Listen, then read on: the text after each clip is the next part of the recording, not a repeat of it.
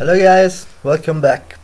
We are going to see the extended basic challenge number 7 Saki sysadmin of Hack This Site.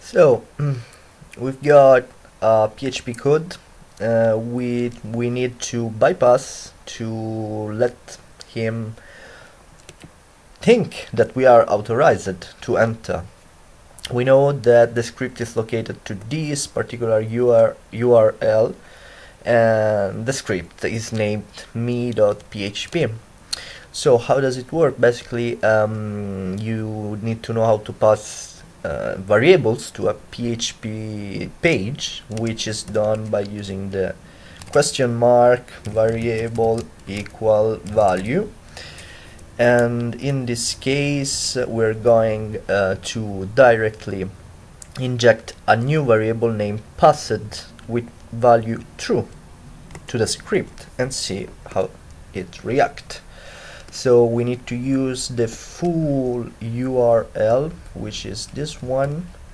and then we're going to pass the variable passed equal true. So variable name and value true to trick it. Let's check it.